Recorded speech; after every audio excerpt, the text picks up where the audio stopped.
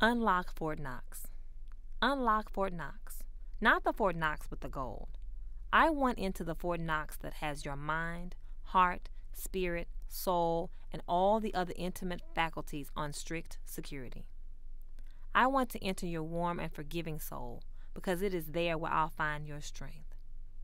I demand admittance into your perceptive mind because it is there where I'll see your power.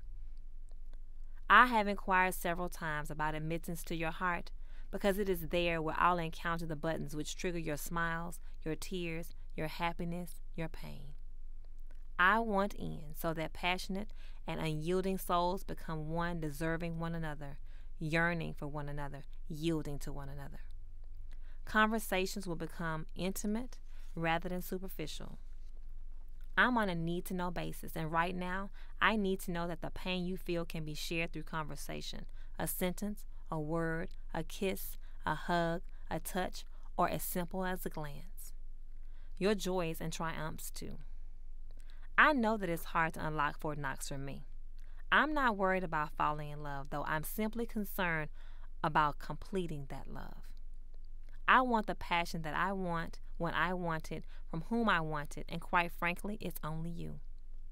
This might not be my final request. However, it is the most profound by far.